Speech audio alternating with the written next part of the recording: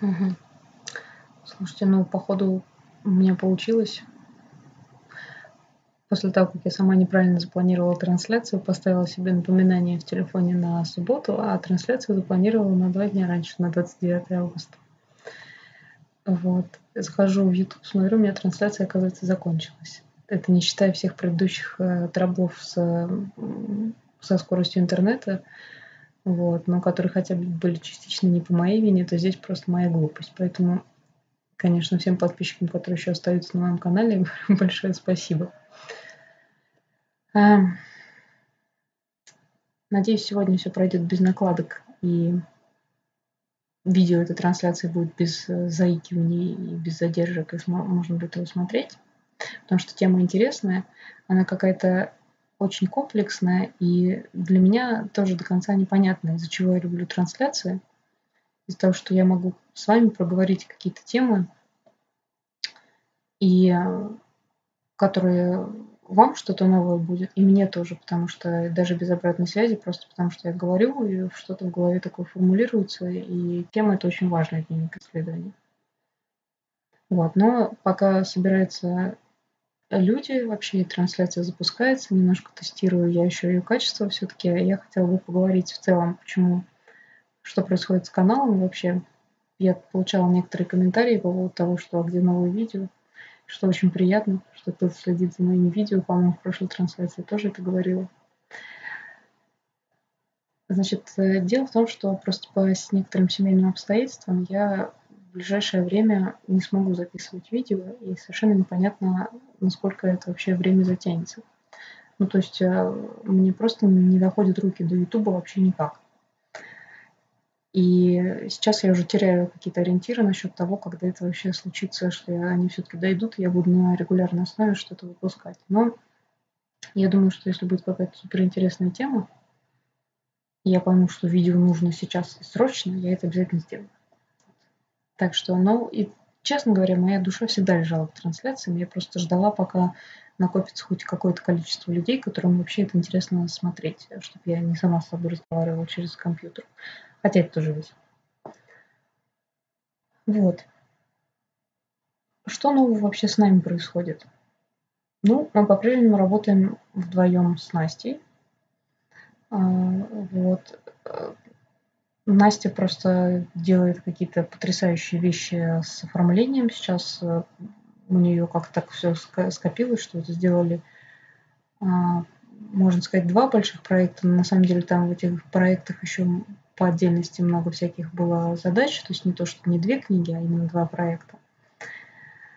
И очень все суперски выглядит, просто титанический труд по результатам нашего исследования, который тоже титанический труд, но не настолько наглядный, что всегда обидно с исследованием. Делаешь, делаешь, а результат-то, собственно, не виден. Вот книгу, да, посмотришь, сразу видно красиво, а исследование, ну, что-то там наковырялось. Вот, и хотела вам показать, а сейчас э, думаю, как. Ну, наверное, вот сейчас как раз покажу. Наверное, вот просто на экране. Так, где у меня тут захват экрана? Сейчас я туда это отключу.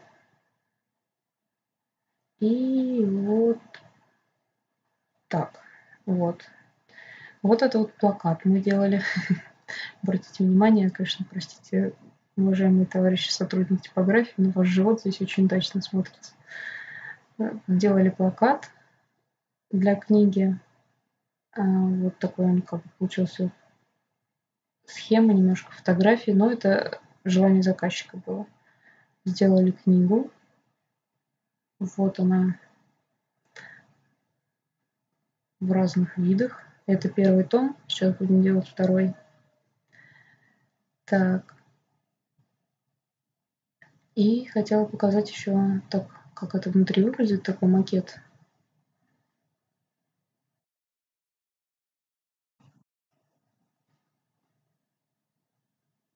Это у нас что? Это у нас был э, пробный макет еще. Даже не книга в печати, а именно еще первый блок, который мы печатали без обложки.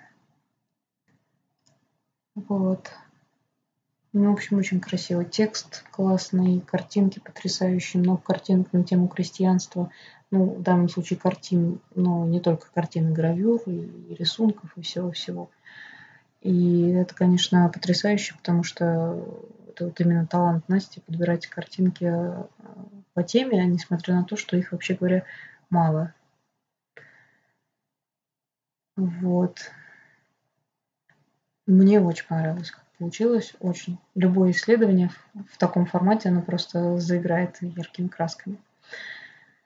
Ну, это вот результаты наших последних трудов. Что касается меня, я сейчас очень много делаю работы с иностранцами, и это вообще 99% моей работы. И, честно говоря, я очень рада, что повернулась ситуация. Я думаю, отчасти это связано с каким-то с тем, что рынок так, таких средних заказов, поскольку я с випами вообще, в принципе, толком не работаю такими прям випами, которые, по крайней мере, очень акцентируют внимание на том, на том что они випы.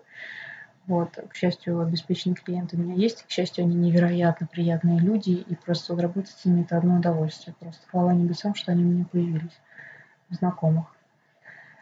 Но работаю я в основном сейчас именно с иностранным рынком, потому что те заказы, которые шли по российскому рынку, они как-то, ну, они очень сезонные, и, на мой взгляд, они падают. Я не знаю, либо я что-то делаю не так, либо это экономика просто что-то идет как-то э, не туда. Но, в общем-то, у меня вот осталось такое расслоение, именно ощутилось на российском рынке сильно. А, и с иностранцами как-то наоборот все складывается, что мне очень, очень нравится. Английский практикую. И генеалогическое сообщество а, вообще международное это очень интересно. И наконец-то я нашла способы войти с ними в прямой контакт а не просто там смотреть результаты их э, трудов на Ютубе или там где-то в печати, в каких-то блогах. И это тоже очень-очень приятно. В связи с чем а, я на самом деле задумалась вообще на эту тему дневник исследования, потому что а, как бы это результат именно столкновения с иностранным сообществом. Вот. А каким образом, в чем именно это выражается? Ну, а, скажем, я даже не знаю, с чего лучше начать. Давайте начну еще с того, что покажу, наверное, еще одну книжку, которая у меня, я сейчас на даче, ну, как понятно, по стене. Кстати, если кто-то смотрел первое видео моего канала, а там первое видео снято именно на фоне, опять-таки, деревянной стены. Там это было еще в старом доме, вот, и как раз шел процесс ремонта. И тоже была деревянная стена. И сейчас, спустя там сколько, три или четыре года, опять деревянная стена. Ну, в общем, но уже другой дом. Вот. Э, соответственно, здесь я просто случайно обнаружил черновик э, фотокниги, с которой, которая была сделано вместо разборов фотоархива. То есть э, это была моя личная инициатива, и целиком я делала ее сама, поэтому я не презентую это ни в коем случае результат нашей работы, и это очень важно. Очень важно, потому что сделана она на коленке и с, ну, как бы с моим чувством вкуса оформления книг, а это, знаете, совсем не образец. Мы их используем шаблонов, на самом деле. Вот. И что я сделала предварительно, я вот так это выглядит – Я обработала просто всех родственников в плане фотоархива, которые мне были доступны на тот момент по ветке Рябовых. Это моя материнская ветка по бабушке, мам, быт. И я просто проехалась везде со сканером, не каким-то с портативным сканером, а со здоровым сканером. Сканировала везде фотографии и а, собрала. И, знаете, идентичный подход здесь подписать каждую фотографию. Ой, абсолютно корректно э, разместить там, пока указать место, указать дату, не сработало, потому что если бы я это делала, я бы никогда этот альбом не доделала. Почему-то у меня вот здесь подвисла сейчас трансляция. Вот, поэтому я пошла путем наименьшего сопротивления. У меня дверь шевелится.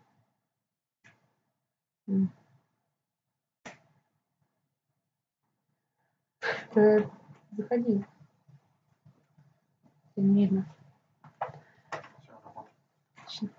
Ну, в общем, пошла путем наименьшего сопротивления, сделала просто так, как, э, собственно, получилось. Где-то подписала, где-то нет. Но хорошо, что я отпечатала первый экземпляр, потому что, когда я показала родственникам, оказалось, что там есть ошибки. Так, сейчас, секундочку.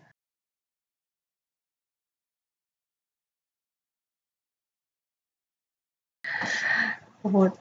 И эти ошибки я прям здесь и поправила. А потом я напечатала уже чистые экземпляры. Здесь вот э, есть у меня с как бы описание того, где можно найти э, полное генеалогическое древо, надо проверить. Я не уверена, потому что, что оно там лежит, потому что это э, древо свое я веду в генопробу, как начала, так и веду. И там своя заморочка с выкладыванием отчетов. Не знаю, сейчас я уже отошла от этого, я надо проверить, интересно. Вот, и так вот я оформила странички просто. Здесь вот какие-то тексты с подписи, если они были. Вот это я уже правила, конечно же. Хотя, честно говоря, я не вижу ничего ужасного в том, чтобы напечатать просто фотографии, вот так вот, потом собраться всей семьей и вот так вот маркером подписать от руки, там, если сделать еще соответствующее оформление, а, какие-то комментарии. Это тоже вполне допустимо, на мой взгляд.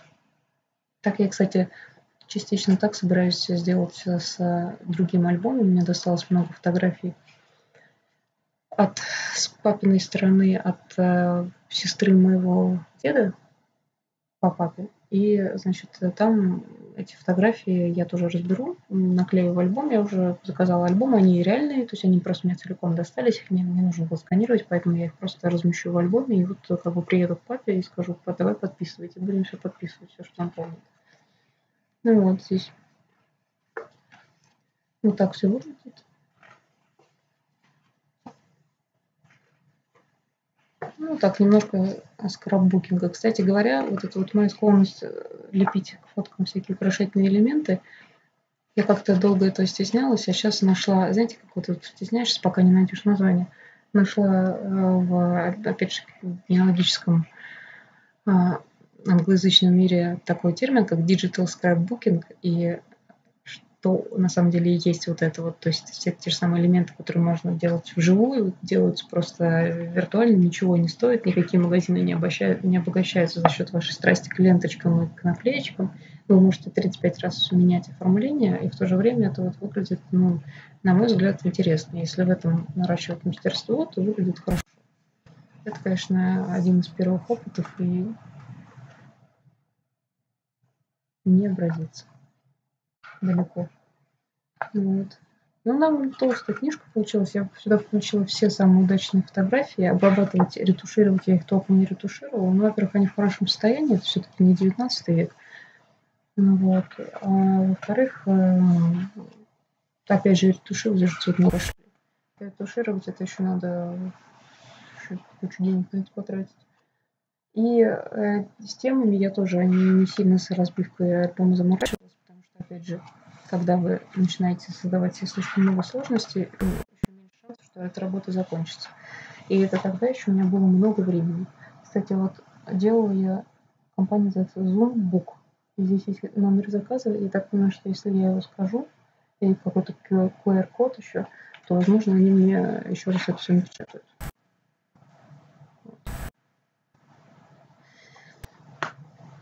Я это раздала родственникам. Вот, и стоило это, естественно, там в разы десятки меньше, чем книги, которые мы делаем клиентам. По-моему, в районе полутора тысяч одна книга, что ли, мне обошлась. Ну, сколько-то я сделала, ну, это было давно. Вот. И, значит, что еще, собственно,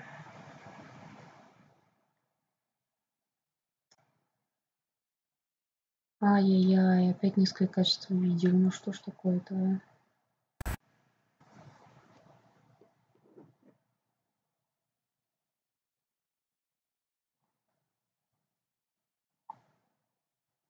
Да, она еще и приостановлена. Почему она приостановлена, эта трансляция, я не понимаю. Я ее не приостанавливала. Кто, кто отжирает у меня интернет сейчас?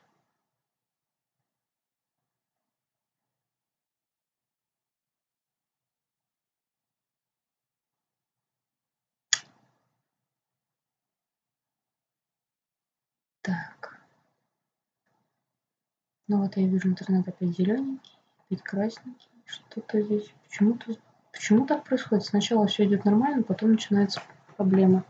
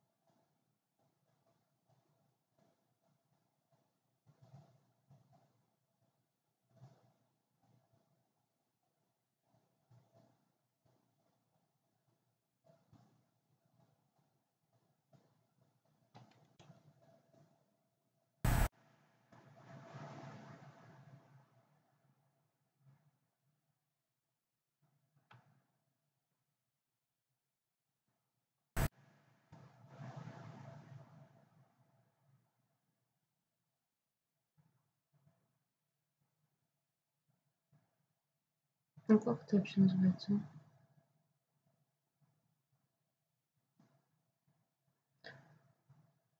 Ой, нет, все, конечно, хорошо на даче, кроме вот, кроме интернета.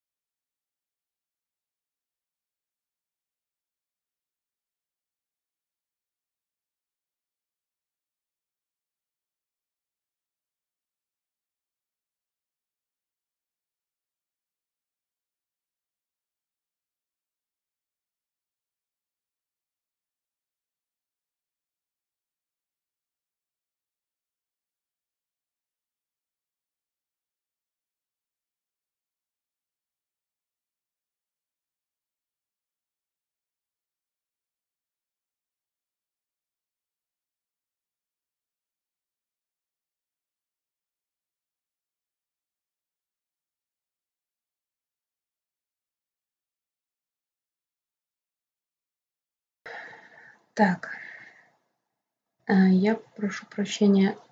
Ну, Геллерт, эм, я хотела вам ответить сразу, но у меня, как видите, просто технические сложности с ответами. Вообще с трансляцией опять начались, поэтому я отвлеклась. Эм, я, естественно, за коллаборации с более известными, известными стримерами, сто процентов.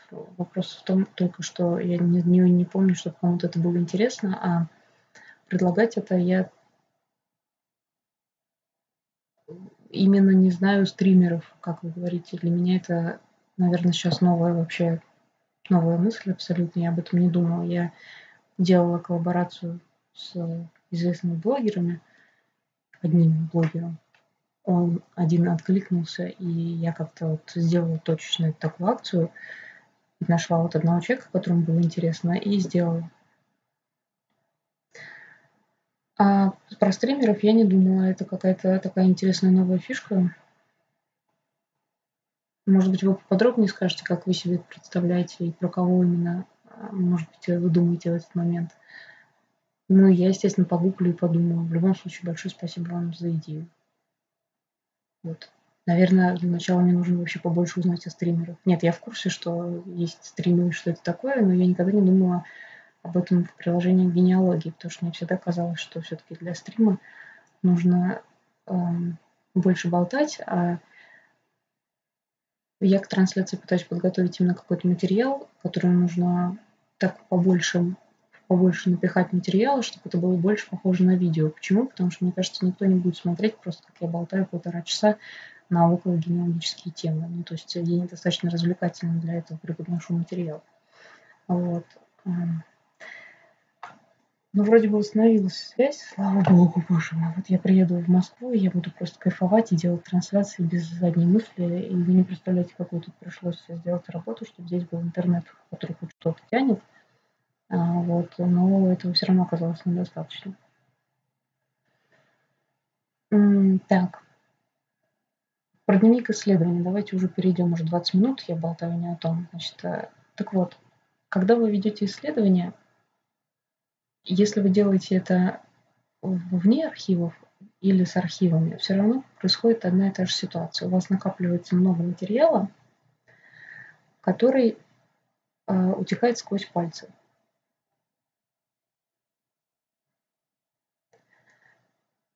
Так, значит,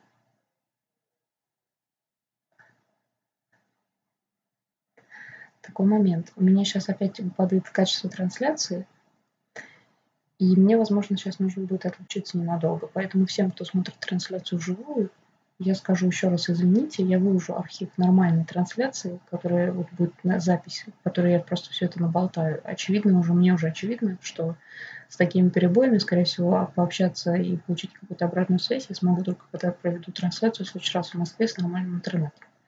Но материал у меня есть интересный, я обязательно его сейчас расскажу.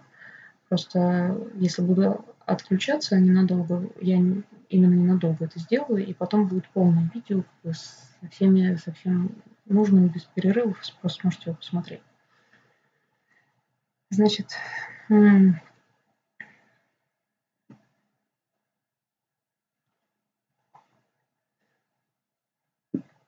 Я веду э, дневник исследования в прямом смысле, то есть у меня есть вордовский файл, и когда я начинаю нового клиента, я пишу там такое-то число, то-то сделала. Если я отправила письмо, я беру копипастю его туда, потому что иногда в мессенджерах общаешься, еще тоже копипастю, соответственно, чтобы в одном месте было, была вся информация, кому я что сказала.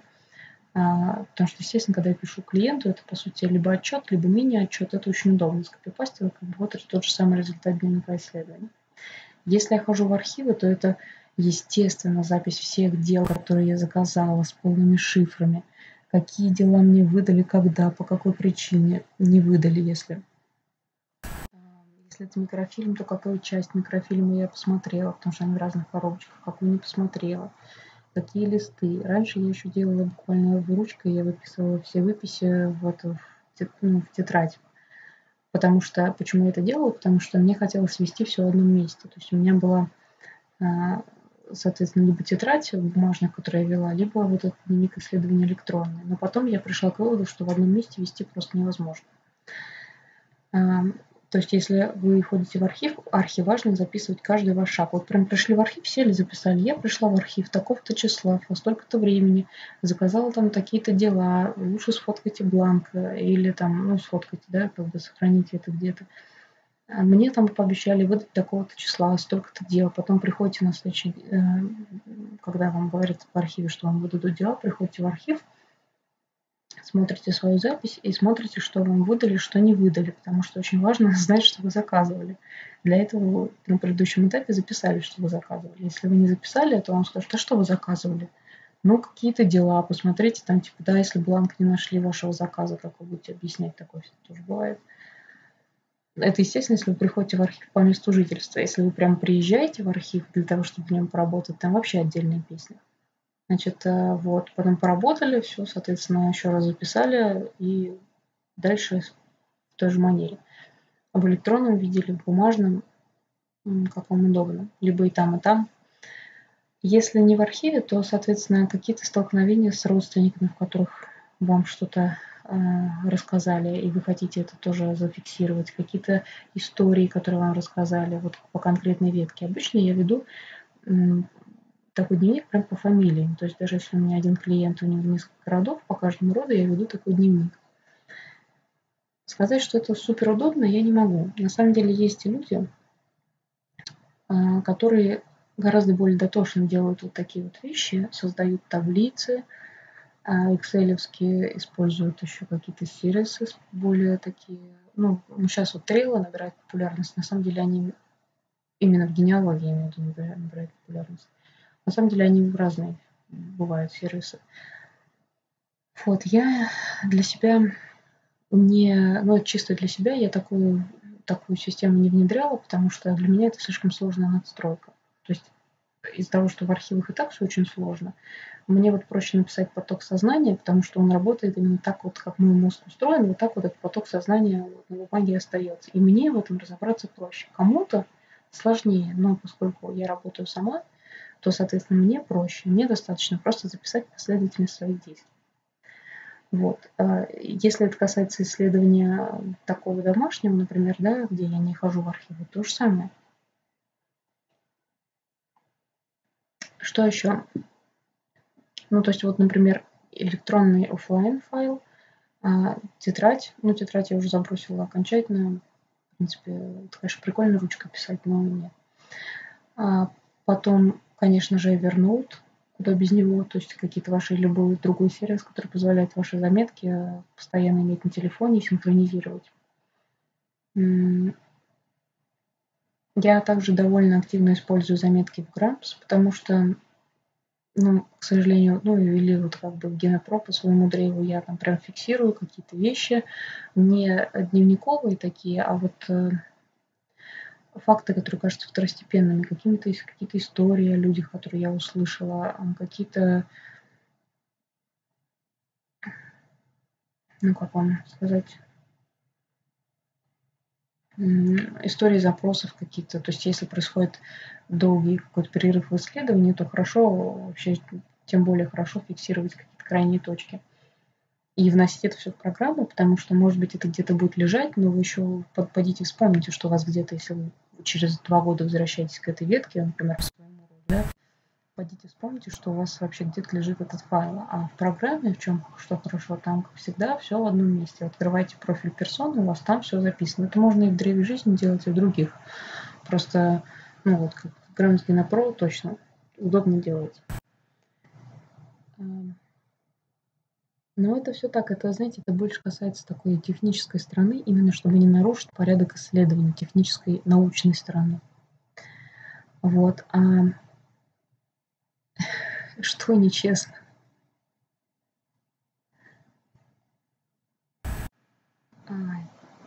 Что происходит вообще с моей трансляцией?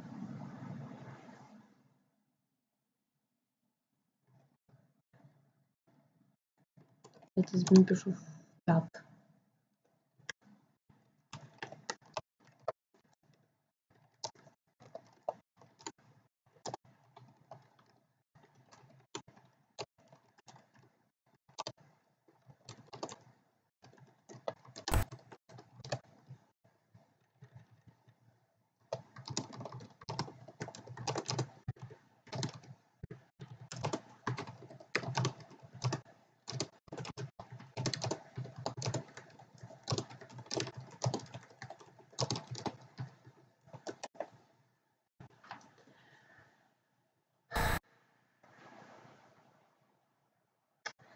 Так вот.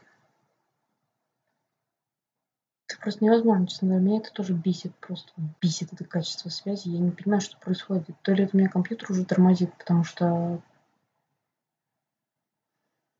я как э, этот, как, извините меня, гуманитарий до мозга костей, могу только смотреть. У меня квадратик зелененький в ОБС.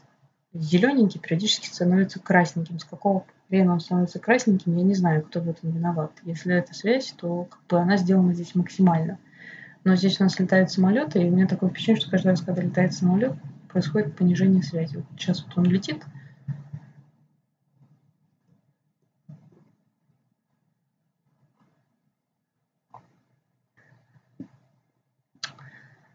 Ой. Так вот, ведешь канал, ведешь, собираешь зрителей с трудом, а потом из-за проблем со связью, блин, куча народу потеряется. В общем, значит, что я, на чем я остановилась? А, да, что это все, что я говорю, это такая техническая сторона, чтобы не потерять именно прогресс исследования. Но есть еще, да, Trello, кстати, в этом плане тоже э, используют, но меня всегда смущает вот в таких э, сложных проектных э, приложениях, которые на самом деле, конечно, очень удобны, процесс выгрузки материала. Как вы через какое-то время, если вы захотите от этого приложения избавиться, сможете оттуда материал выкачать так, чтобы он остался у вас в таком же, в таком же систематизированном виде. Это вот как, знаете, это сегодня, кстати, не знаю, где это записано или не записано, но сегодня, типа, генеалогической тусовке это считается день, день бэкапа. Вот сегодня нужно бэкапить все. Я, правда, сделала это заранее. Я забэкапила там свой инстаграм, все свои инстаграмы, точнее, все свои дневниковые записи, какие-то, короче, все все приложения, в которых у меня откладывается информация, которую мне не хотелось бы потерять, там, Твиттер, и я все это, соответственно, забэкапила. И обнаружила, что очень много файлов а, в этих приложениях, а, практически все это JavaScript. И я смотрю на эти файлы думаю, что я буду с ними делать. Вот кто-нибудь, если есть программист, объясните мне, пожалуйста, что делать с этими файлами, если вам не жалко времени на это потратить. Потому что я так еще оставила для себя эту проблему, еще даже не гуглила, но мне не очень понятно, как бы, как потом это все распаковывать. Вот, а с исследованием уже то же самое. То есть вы вот ведете, допустим, где-то вы бэкап скачаете, на что вы будете потом с этим бэкапом делать. Так вот, а, если есть еще одно такое предназначение вашего дневника исследования. Ведь исследование, оно же бесконечное, и обобщаемые результаты, которые просто на текущий момент э, достаточно перевесили какую-то нашу чашу терпения, нам хочется их увидеть в таком виде уже конкретно красивым. И для того, чтобы это сделать, э, а, нам нужно иметь вот этот вот вес накопленных записей, каких-то историй, фотографий, для этого подходят, в принципе, любые сервисы, которые позволяют в социальных сетях, например, следить за вашей жизнью. То есть там же в Инстаграме, где вы выкладываете фотки про себя, вы можете последовательно выкладывать истории из жизни ваших предков, сопровождая их картинками. Какие-то истории о том, как вы нашли какой-то предмет, как вы собираетесь оформить фотографии, которые у вас есть э, в альбоме, там процесс создания фотоальбома, какие-то ваши страдания, какие-то опросы. И есть те компании, которые из вашего Инстаграма потом печатают книгу. И я вот, например, пошла этим путем. Сейчас я завела себе Инстаграм, в котором я буду о своей семье э, делать такие вот заметки с digital scrapbooking, вот этим самым. Ну, это вот сочетание моих хобби. Мне так хочется делать, и я стала обращать больше внимания на то, чтобы записывать именно истории, и даже о тех, кто сейчас э, жив и, дай бог, еще проживет долго, для того, чтобы их просто не потерять. Например, ну, скажем, открытие вот этого лета, что когда мой дедушка умер в 2006 году, достаточно давно, но я, естественно, была уже взрослая, и я его хорошо, очень хорошо помню. Он, можно сказать, принимал очень активное участие в моем воспитании, но, как оказалось, я о нем практически ничего не знаю. И поговорив просто с мамой тут недавно, я обнаружила для себя массу новой информации, которая пропала бы в туне, потому что дедушка сам о себе особо не рассказывал. Когда люди пересказывают какие-то истории, они пересказывают только те истории, которые им нравятся, и не пересказывают никогда жизнь отдельного конкретного человека. И стоило задать вопрос маме, расскажи мне про дедушку, пожалуйста, от и до, она рассказала мне столько, что я, ну, как бы действительно очень многого не знала. И какие-то места э, с названиями, где он работал, этого я тоже не знала. Опять-таки, где бы я это узнала, если у меня трудовая книжка не сохранилась, я не знаю. Ну, то есть то же самое касается моего папы, который тоже достаточно молчалив, и хотя он очень интересуется тоже семейной историей, я вот буквально недавно наткнулась на потрясающую какую-то историю совершенно. Просто случайно мне она выпала, и она выпала случайно в разговоре, то есть уже как бы позвонила там э, моя родственница по, его, по одной из его родов, по одному из его родов с его стороны, и ей нужно, чтобы мы нашли один документ в архиве, по каким-то там бытовым соображениям, в принципе, по большей части. И как-то, ну, там что-то складывалось, что-то не складывалось. Вот мы обсуждали этот вопрос с папой, он говорит, ну, ты знаешь, вообще мы ей должны. И я рассказал мне, что ее сестра, а, которая была также сестрой моей прабабушки, она э, во время войны, когда моя прабабушка осталась с двумя детьми э, без мужа, живя при этом в Москве, она, ну, соответственно, они голодали, и вот эта вот э, Нина Ивановна, она проносила, работая на хлебзаводе, проносила буханки хлеба, которую один раз, один раз в неделю им разрешали вынести, она приносила банку тушенки, просто мякиш вытаскивала и клала туда банку тушенки, которая была у них доп. пайком. Я так понимаю, что выносить его было нельзя, насколько я понимаю, потому что ее в итоге поймали и посадили. Но профессионал сидела три года за это, вышла и, соответственно, к счастью, вышла. А, но вот на этой тушенке моя семья продержалась достаточно, чтобы не умереть, и я обязана ей жизнью, можно сказать. Да, в общем-то, в очень существенной степени.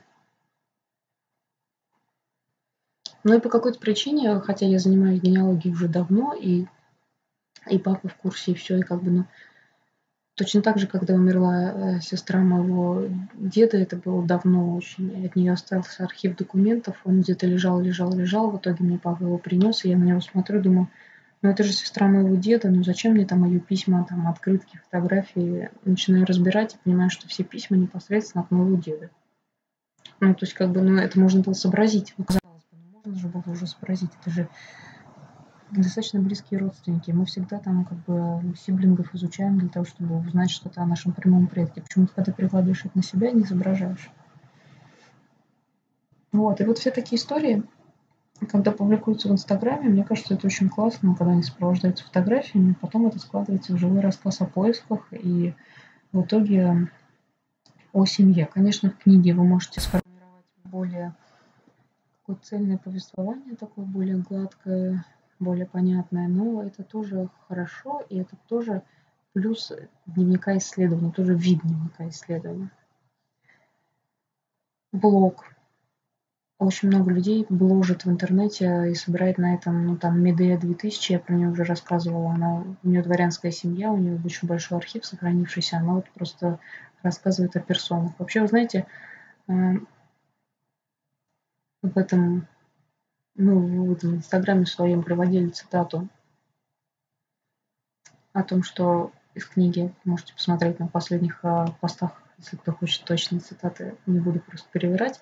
В общем, суть в том, что рассуждение человека о другом человеке, то есть э, вот эта вот информация о жизни другого человека, интерес к этой информации, интерес к тому, какой другой вот сосед, например, он хороший или плохой, он там честный, нечестный, там, сколько у него жен было, или да, какие у него дети, как он вообще живет. Это одно, один из первичных интересов э, нас вообще как человечества, и это даже связано с развитием нашего языка. Поэтому, когда вы изучаете свою генеалогию, тот момент, э, что это именно ваше древо и как оно строится, интересен, ну, этот момент интересен только вам. То есть, естественно, открыть больше предков, узнать там точные достоверные факты. Древо в целом интересно, да. Но вот конкретные персоны всегда интересны всем. Вот вы можете даже без имен выложить в интернет, просто рассказать историю, будет интересно. А если приложите фотографию, ну чем это вам не Кардашьян? Честно говоря, если правильно подать, это не то же самое, это же все человеческие истории просто.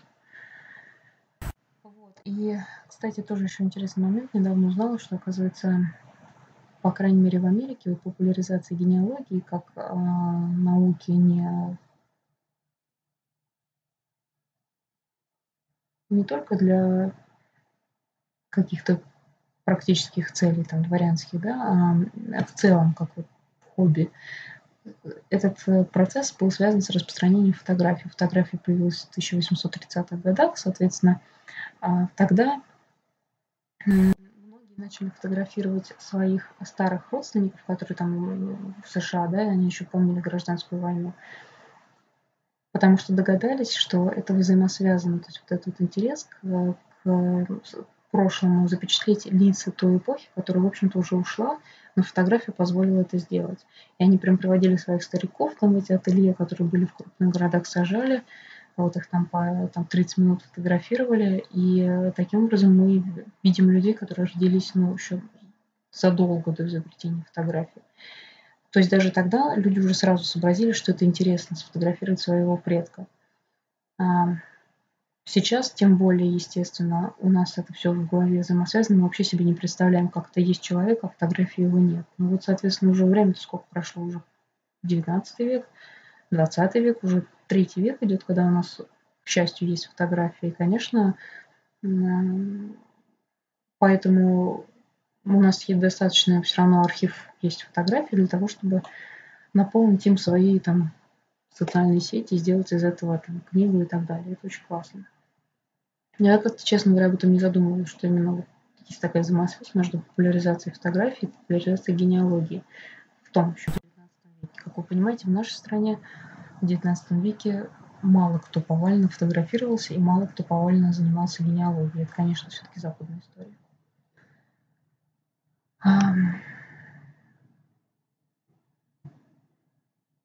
Кстати говоря, есть даже классное видео в интернете. Оно, по-моему, 1930-х годов, что ли. Там такие два старичка, семейная пара. Я выкладывала. Они там, ну, вообще, они с середины 19 века рождения. Да, скорее всего. Очень трогательное целое видео 30-х годов, такого хорошего качества. Вот.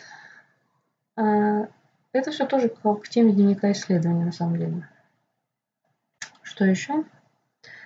Хотел сказать, какие еще виды бывают. Ну, то есть блог – это, честно говоря, на мой взгляд, уходящая тема, потому что я не знаю, много ли из вас читает ЖЖ на регулярной основе. И любые сервисы вроде ЖЖ подразумевают, что вы выкладываете ссылки в другие более популярные соцсети. Facebook, там, Twitter, в Instagram – но эти ссылки мало кто открывает. Нужно быть прям ну, очень интересным блогером или очень известным генеалогом, чтобы ваши ссылки вот так вот открывали, переходили, читали там про кого-то, не знаю. Аудитория у этого контента, конечно, не очень большая, и, соответственно, писать для себя, ну, это, наверное, лучше, чем писать в стол, хотя, не знаю, вы будете тратить время на то, чтобы как-то преподнести эту историю, а на самом деле в итоге ответа не получите. И вообще, честно говоря, я вижу смысл все-таки делать в том, что если выкладывать контент какой-то, да, вот этот дневник делать открытым, а именно делать его двуязычным, потому что в английской аудитории вы получаете гораздо больше отклик, у них там активнее просто это все происходит. И это в сто раз приятнее, чем если вы публикуете на русском языке, где, в принципе, вас могут читать три человека. И эти три человека, скорее всего, наиболее заинтересованы в том, чтобы свои истории писать, чем ваши читать, потому что они увлекаются генеалогией своей, в первую очередь. Вот. Так что вот, наверное, вот такие вот виды я хотела бы перечислить, те, которые приходят мне в голову. Я думаю, это, конечно, далеко не все. Но это такие зарисовки, которые в будущем могут служить очень хорошую службу в разных разных проявлениях. И, как я уже сказала, они, получается, нужны от таких технических моментов вроде работы с архивами или просто построения какой-то логики исследования, чтобы вы не забывали, кому что вы написали, до э, наполнения книги живыми историями, живыми фактами и фиксирования вот этих вот историй, которые в вашей семье есть, но не записаны, а также вытягивание этих историй, потому что здесь, знаете, вот происходит вот такая фигня. Сначала вы пишете дневник, потом дневник пишет вас. То есть сначала вы начинаете его, потом вы думаете, так, у меня что-то какая-то, вот особенно если это социальная сеть, какая-то пустота, нужно писать пост, о ком я буду писать пост, вы начинаете думать, вспоминаете персону, а, думаете, что вы не знаете, что не знаете, идете у этой персоны, спрашиваете, или там, допустим, у ее потомков. А еще в социальных сетях есть такая штука, как э, челленджи, и есть она в англоязычном генеалогическом мире, есть свои э, челленджи, очень всякие прикольные, на самом деле. Порядка 15 я, наверное, точно смогу назвать. И это вообще такая тема, которая вас очень форсирует на там, свершение. А можно еще свой придумать, и это тоже еще классно будет. Вот. Так что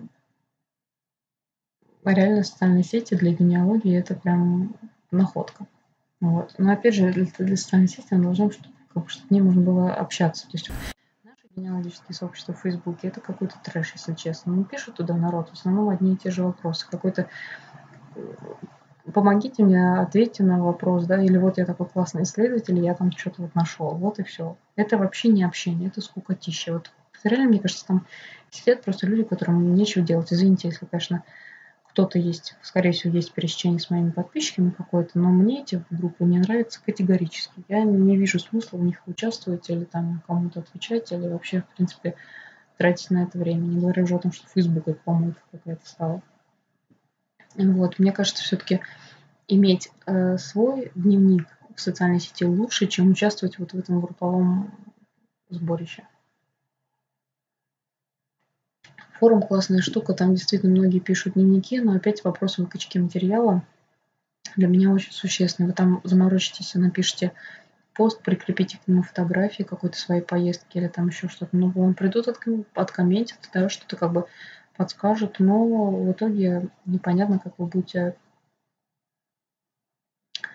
все это оттуда извлекать. Ой, а у меня тут комментарий есть.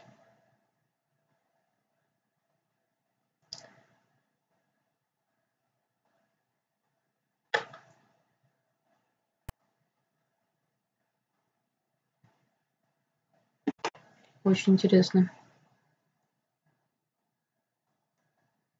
Классно. Геллер, спасибо вам большое. Очень-очень-очень интересно. Я, конечно, найду и напишу. Как раз к тому моменту, когда у меня восстановится нормальный интернет, я думаю, у него тоже наладятся а, дела с баном. Вот, и я обязательно попробую это сделать. Обалдеть. Вот, несмотря на то, какая у меня ужасная трансляция по качеству, сейчас вы ее смотрите, вот не поленились написать, большое человеческое спасибо вам на самом деле. Очень приятно. Вот, я обязательно это сделаю.